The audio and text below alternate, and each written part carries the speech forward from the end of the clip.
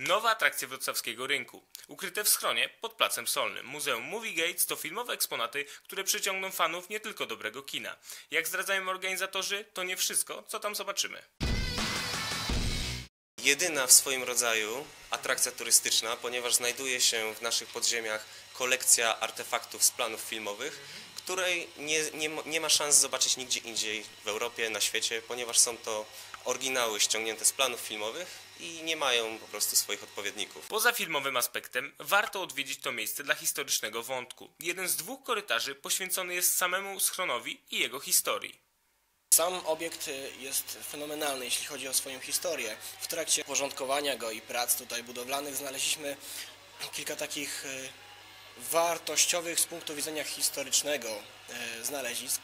Na przykład metalową blaszkę z logiem firmy, która zbudowała ten schron.